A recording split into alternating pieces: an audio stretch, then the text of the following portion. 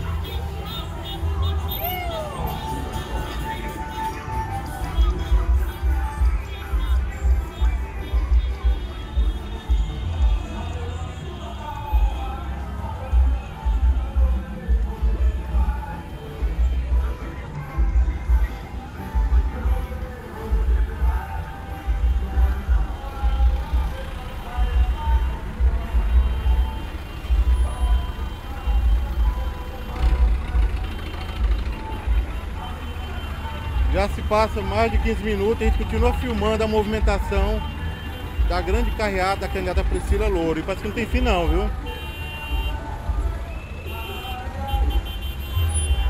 Parece que o trânsito fechou lá na frente e tem muito carro chegando ali atrás.